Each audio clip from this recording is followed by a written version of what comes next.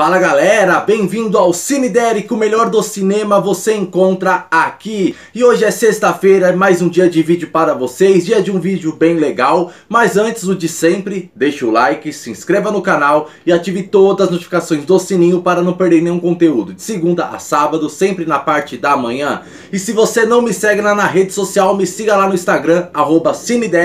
Lá você encontra tudo sobre o cinema, séries, artistas e, é claro, sobre o canal canal também. E hoje é dia de super crítica aqui para vocês, mas antes de irmos para a super crítica, só tenho que dar um recadinho para a dona Netflix. Netflix, eu te peço do fundo do meu coração, eu gosto tanto de você, mas por favor pare, pare de fazer filme de terror.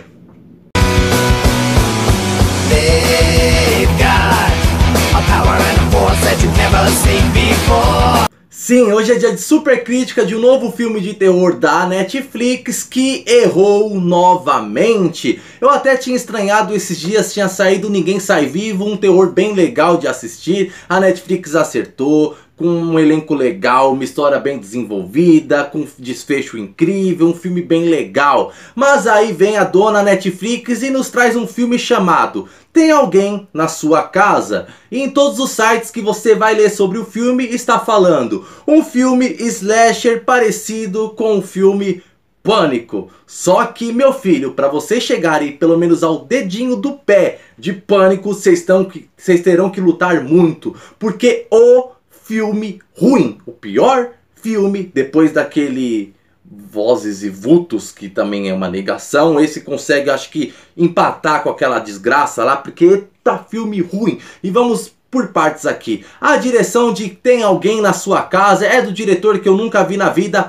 Patrick Bryce. Isso mesmo, esse delinquente que vocês estão vendo aí na imagem. É, ele trouxe um filme de terror falando que ia ser igual ao filme Pânico, só que tá bem longe de ser Pânico. Tá bem longe de ser um filme. Na verdade é mais uma tranqueira aí lançada pela Netflix para ver se ganha algum dinheirinho e se pensa em ter continuação, melhor desistir Netflix, porque é, que nem meu amigo do J Críticas falou, ele parece aquele filme sem conexão de 2021, tão ruim quanto. É, você tem razão. J Críticas. É, é ruim mesmo. Bom, o elenco aí temos um elenco recheado, mas ninguém conhecido. Eu pelo menos não conheço ninguém nesse elenco. A única que eu conheço é a personagem mecânica interpretada pela atriz Sidney Park. E só conheço ela também porque ela aparece em The Walking Dead. Mas se você pensa que ela é boa atuando em The Walking Dead, ela é igual nesse filme. Uma porcaria, não vale a pena ali. E os outros ali também, os outros personagens ali, que eu não vou entrar muito em detalhes em atuações desse filme e nem se os atores mandam bem ou não, porque não mandam bem. É tudo ator ruim, desconhecido. E vou falar também, o filminho pra ter gente feia. Meu Deus do céu, não tem um, um nesse filme que se salve. O filme é só gente feia. Meu Deus do céu. Por isso que o assassino acho que matava as pessoas. Porque apesar que o assassino também era feio. É, bom, vamos lá. A história do filme é básica. Um terrível assassino começa a matar as pessoas que escondem algum segredo. Isso mesmo, ele invade a casa da, da, da, de tal pessoa que tem um segredo e acaba matando. E para isso ele usa uma máscara diferente para cada tipo de pessoa. Isso mesmo, cada tipo de pessoa que ele vai matar, ele usa a máscara de acordo com o rosto da próxima vítima. Então ele vai matando aí pessoas que têm segredos sombrios, a maioria ali de seus inimigos. Então essa é a premissa simples da história. É uma premissa legal legal que poderia funcionar, o lance da máscara, de o assassino usar máscaras diferentes de acordo com a vítima que ele vai matar, é uma ideia simplesmente sensacional, mas que na hora de ser efetiva no decorrer do longa, o filme morre por ali e não acontece mais nada de bom, mais nada que agrade. Vamos começar ali é, falando um pouco da história, mais ou menos ali.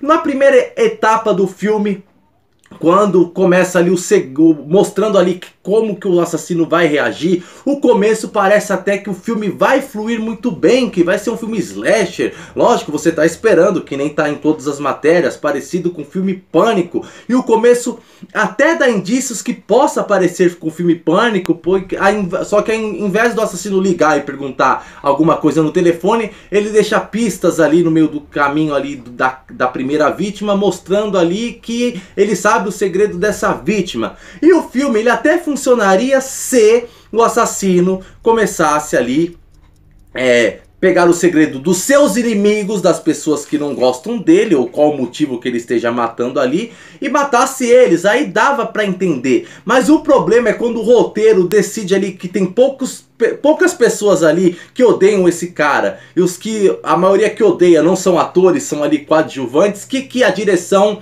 do Patrick Bryce ele decide fazer? Ele decide fazer o assassino matar seus próprios amigos. É, isso mesmo, seus próprios conhecidos ali. Então ele começa a matar ali várias pessoas. Então ele começa com uma ideia bem legal, mostrando que o assassino mata as pessoas que têm um segredo, é isso mesmo. De vez em quando João Kleber ele prefere matar, mas aí cada um resolve seu segredo ali do jeito que quer. Mas o filme funcionaria melhor se fosse baseado as mortes nos seus inimigos, não ter focado nos amigos do personagem, do assassino, que eu não vou falar quem é, né, para não dar spoiler para vocês, mesmo se vocês quiserem dar uma chance para essa bomba da Netflix. Bom, em quesito mortes, as mortes assim, nem todas são boas. Acho que a primeira morte é boa, temos uma morte de um outro personagem ali que consegue ser manuseada ali mais ou menos, mas os restantes da morte são mortes nada dos a ver, umas mortes que não te deixam apreensivo, nem com nojo, nem nada, apesar do filme caprichar bastante no gore, bastante naquela sanguinolência na hora que alguma pessoa é cortada, algum pedacinho dela, nem isso consegue fazer que, que a gente se impressiona. E claro, tem assim, o filme, o maior problema desse filme, além dele todo, é assim, ele mata uma pessoa. Depois ele passa uma boa parte do filme sem acontecer nada, apenas draminhas familiares ali, draminha do passado de cada personagem e morte que é bom, vai demorando, isso acaba incomodando muito. E por que que nesse filme esse arrastado, esse momento monótono incomoda muito? Porque o filme tem apenas 1 hora e 35 de duração e parece que você está assistindo um filme de 3 horas de duração, porque o filme não flui, o filme não se alonga, ele se alonga muito naquela parte mais parada, naquela coisinha, naquele draminha de segredos, ah, de amizade, de não sei o que, esquece das mortes. Então um filme de 1 hora e 35 se torna ali um filme de 3 horas.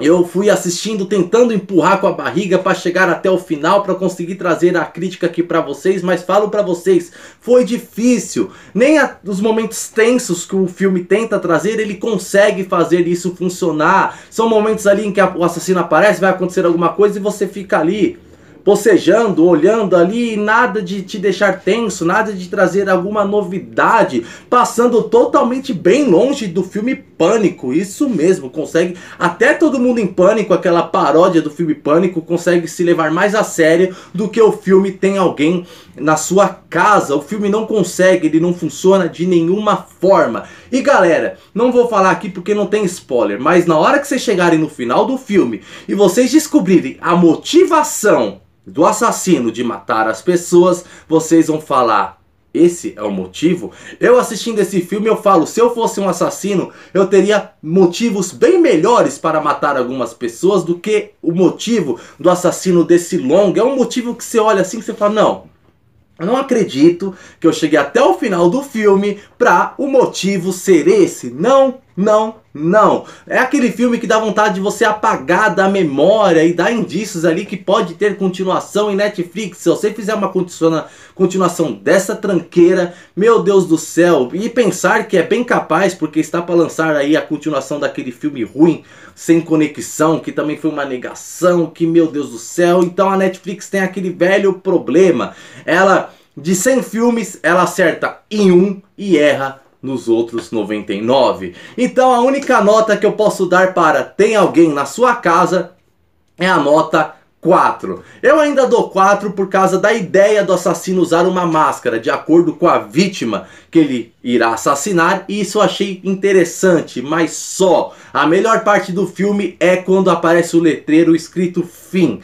Se você ainda não assistiu, vá por sua conta e risco, mas já vou avisando, vocês não vão gostar de nada. E eu garanto que vocês não vão gostar de nada, porque já J Crítica já assistiu, o Dois Faladores já assistiu também e eles tiveram a mesma opinião que a minha. Então garanto que a maioria que for ver esse filme vai ter a mesma ideia que todo mundo. E assim que eu encerro a crítica de hoje. Então galera do Cine Derek, esse foi o vídeo de hoje. Espero que vocês tenham gostado. Amanhã, sabadão, eu volto para vocês com o último vídeo da semana. Com o último com a última crítica também do episódio 8 de The Walking Dead, que só irá retornar ano que vem. Então, sabadão, último episódio, depois na semana que vem, especial Halloween, a semana inteira, beleza? Muito obrigado, um beijão e tchau!